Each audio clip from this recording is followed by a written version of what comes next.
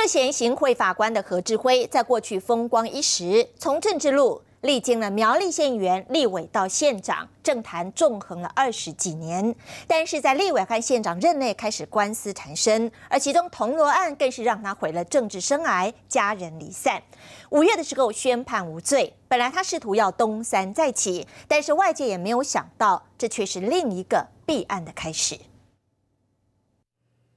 何志辉位在苗栗的住家兼服务处，牌匾高高挂，看得出来过去的风光。不过现在何志辉犹如人间蒸发，涉嫌行贿法官，他的消息相当灵通，在剪掉上门搜索前匆忙离家。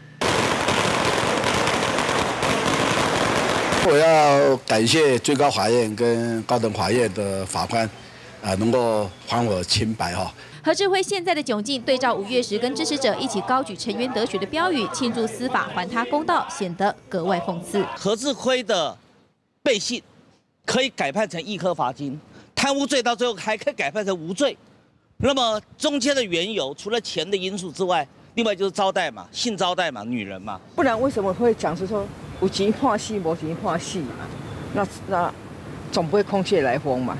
昔日同袍议论纷纷，跟何志辉的大起大落、弊案缠身有关。民国七十五年，何志辉出事提升参选新议员，就当选副议长，先后当选五届立委，还有一任的苗栗县长，纵横政坛二十几年。不过政治路上摆脱不掉铜锣案。